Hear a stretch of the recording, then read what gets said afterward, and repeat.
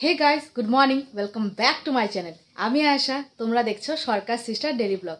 আশা করছি তোমাদের আমার এই ব্লগটা দেখতে খুব খুব খুব ভালো লাগবে। এখন দিনটাকে স্টার্ট করি। এখন বাজে সাড়ে এগারোটা মতো। মা করছে রান্না। অ্যাকচুয়ালি আজকে মানে বুনুর যে ফ্রেন্ডরা তো তারা আমাদের বাড়িতে নাকি লাঞ্চ করবে, তো সে কারণেই। আর ওরা তো সবাই বাইরে বাইরে চলে যাবে পড়াশোনা করতে, কেউ কলকাতা, কেউ এইখানে সেখানে। তো বুনু বলছে, আর মানে কারোর সাথে তো সেরকম আগের মতো আর মিট হবে না। তো তার জন্য আজকে লাঞ্চে সবাইকে ইনভাইট করা হয়েছে। তো ওর সব বন্ধুরা তো আসছে না মানে কিছু কিছু বন্ধু আসছে।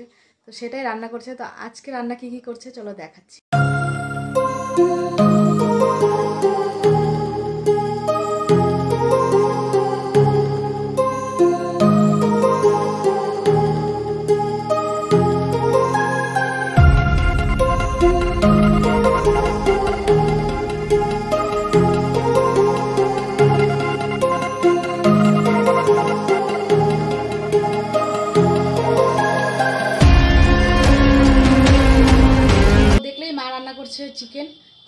আমি মানে পোলাও বানাবে, তো পোলাওটার কি কি লাগে সবটা মেখে নিই। চলো তোমাদের সাথেও আজকে শেয়ার করব পোলাও মানে ঘরোয়া পদ্ধতিতে পোলাও কি করে করে। তো এখানে বাসন্তী চালটাকে আগে ধুয়ে রেখেছি, সেটা আগে দিয়ে দেবো এখানে। ভালো করে দেখতে হবে যাতে এক ফোঁটাও জল না থাকে।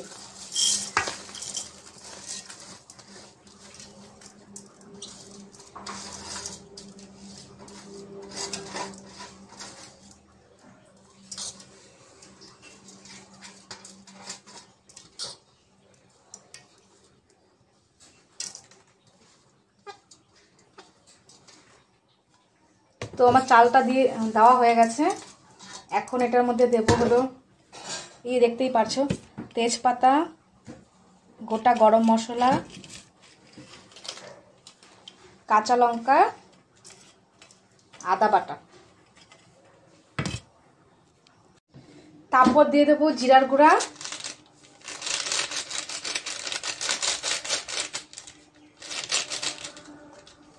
সামান্য একটুখানি ধনে গুঁড়ো।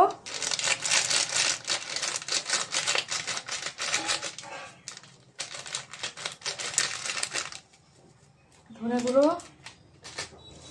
হলুদ।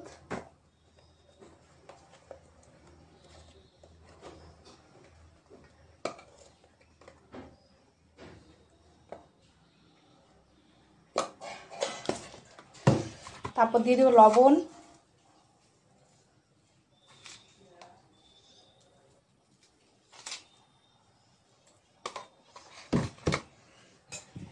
তারপরে দেব ঘি।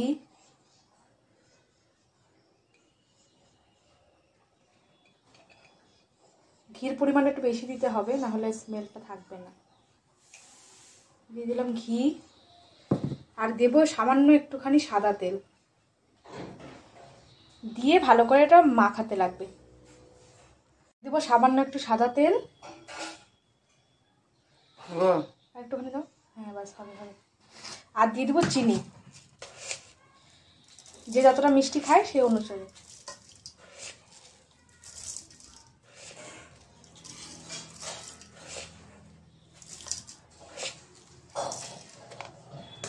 দিয়ে এটাকে ভালো করে মেখে নেব।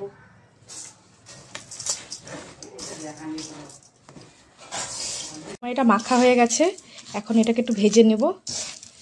চলো দেখাচ্ছি। অনেকে প্রশ্ন করতে পারো কাজু কিশমিশ কেন দিলাম না? যেহেতু বাড়িতে রান্না মানে বাড়ির আমরা আমরাই খাব তো সেই জন্য কাজু কিশমিশ আর দিইনি। এখন খালি কড়াইটা বসিয়ে দেবো কড়াইটা একটু গরম হতে কড়াইটা গরম হলে তারপরে খালি কড়াইয়ে ওই সেটা ভেজে নেব চালটা। কড়াইটা গরম হয়ে গেছে এখন চালটা দিয়ে দেবো।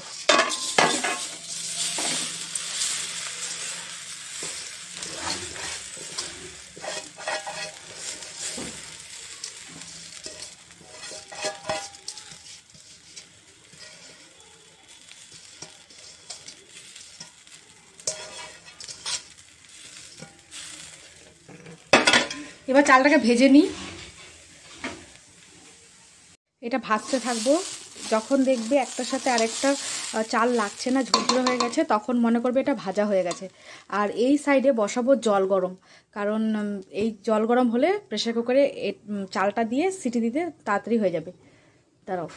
তো আমার ভাজাটা হয়ে গেছে এখানে চালটা আর এখানে জলটা। প্রথমে ভেবেছিলাম প্রেশার কুকারে সিটি দিব, কিন্তু চালটা অনেক কোয়ান্টিটিতে আছে প্রেশার কুকারে আটবে না। তো আমি কি করব? এটার মধ্যেই জলটাকে আলাদা করে নিয়ে চাল যতটা দিব জল ততটা দিয়ে ঢাকা দিয়ে দিব। এটার থেকে জলটা নামিয়ে এটা একটু গরম করে এক চামচ মতো ঘি দিয়ে দিয়েছি। এখন দেবো চালটা। দাও চালটা দিয়ে দাও। এই যে নাও।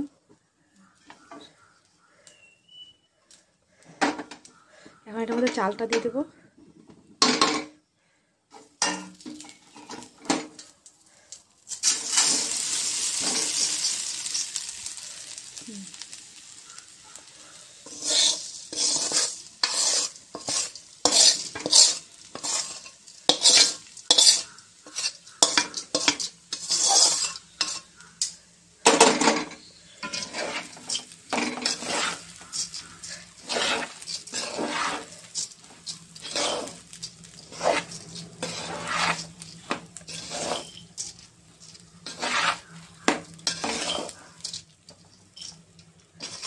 জলটা। আর যখন নিচ্ছে গরম এখন এটার মধ্যে গরম জলটা যে করা আছে, সেটা ঢেলে দিলাম। পরিবার মতো। আরেকটু দাও। আরেকটু দাও সামনে। হ্যাঁ।